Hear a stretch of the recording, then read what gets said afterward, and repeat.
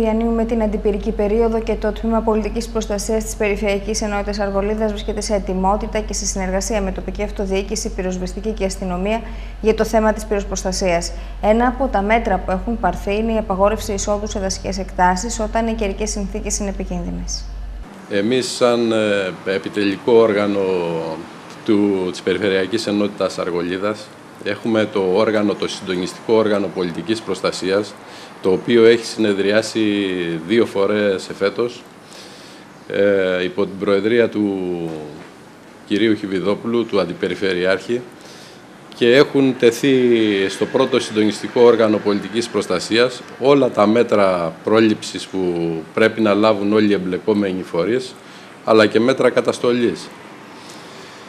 Γενικά δόθησαν οδηγίες του ΣΟΤΑ τι πρέπει να κάνουν, να αποψηλώσουν όλα τα οικόπεδα που υπάρχουν, κοινόχρηστους χώρους ε, του ΣΟΤΑ χωρικής αρμοδιότητάς τους και να είναι με τα γραφεία πολιτικής προστασίας που υπάρχουν σε κάθε ΟΤΑ σε ετοιμότητα και επιφυλακή καθ' όλη την καλοκαιρινή περίοδο η οποία έχει αρχίσει από την 1η Μαΐου και τελειώνει στις 31 Δεκάτου του 2011. Στο δεύτερο συντονιστικό όργανο που κάναμε με όλους τους εμπλεκόμενους φορείς, αποφασίστηκε μετά από εισήγηση του διοικητή της πυροσβεστικής υπηρεσίας ναυπλίου ορισμένες περιοχές που πρέπει να γίνει απαγόρευση κυκλοφορίας σε οχήματα και εκδρομής, σε ορισμένες ε, δασικές ε, περιοχές του νομού μας και ευπαθείς και άλυση κτλ. οι οποίες ε, έχουν μεγάλη επικινδυνότητα για πυρκαγιά και πρέπει πολύ να προσέχουμε και να μην εισέρχονται μέσα ειδικά στις ε, καταστάσεις που έχουμε την κατηγορία 3 μέγιστο, μέγιστη επικινδυνότητα κινδύνου και στην κατηγορία κινδύνου 5 που είναι κατάσταση συναγερμού. Δηλαδή έχει πολύ αέρα και υπάρχει και πολύ ζέστη. Και επειδή ήδη αυτή την περίοδο που διανύουμε ε, έχουμε και αέρα και πολύ ζέστη, πρέπει πάλι να ενημερώσουμε και το κοινό να προσέχει πάρα πολύ. Εάν βρίσκεται σε δάσος ε, ή περιοχή που συνορεύει με δάσος, να μην κάνει κάποιες εργασίες που έχουν φωτιά ή να ανάβει ψισταριές κτλ.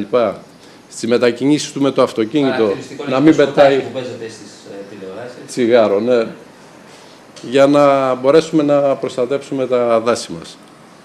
Οι περιοχές αυτές στην Αργολίδα οι, οι περιοχές αυτές στην Αργολίδα, όπως θα σας αναφέρω τώρα, είναι οι εξής. Και για τους τέσσερους Δήμους. Στο Δήμο Άργους Μικινών έχουμε ε, απαγορεύσεις κυκλοφορία στο δάσος Φαρμακά. Δηλαδή, στις περιπτώσεις που θα έχουμε τεσσάρι ή πεντάρι, όπως λέμε, θα υπάρχει εκεί εκπρόσωπος στο του, του Δήμου, ο οποίος σε συνεργασία με την ελληνική αστυνομία και θελοντικές οργανώσεις θα κάνει τις απαγορεύσεις κυκλοφορίας. Επίσης, στο Δήμο Άργους Μικινών έχει απαγορευτεί στο δάσος Μελιδόνι από διάσελο Λυρκίας έως Δούκα και Κεφαλόβρυσο. Και τρίτον, το άλσος προφητηλία του Άργους.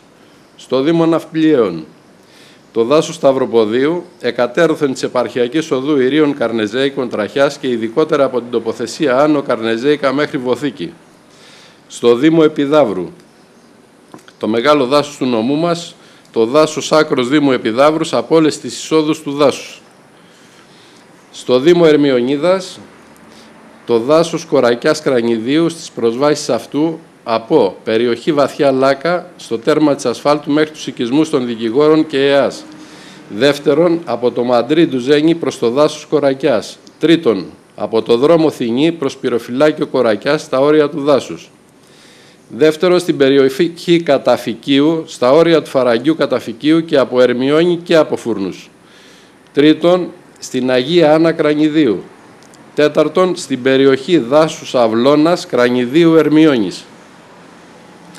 Η απαγόρευση αυτή ε, θα ισχύει από τις υπογραφείς ε, της απαγόρευσης κυκλοφορίας που ήταν 29 Ιουνίου και μέχρι τις 31 Δεκάτου 2011 όπου λύγει και η θερμοπυρική περίοδος.